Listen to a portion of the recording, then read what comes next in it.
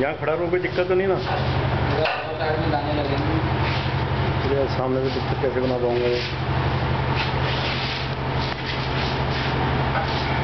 थोड़ा दीवार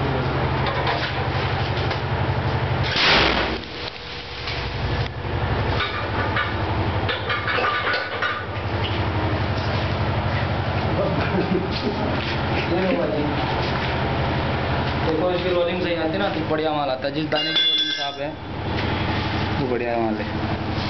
गेहूँ बरी के फ़र्स्ट क्लास गेहूँ होती ना। लब्बू खड़ा हो पाएगा तो यहाँ?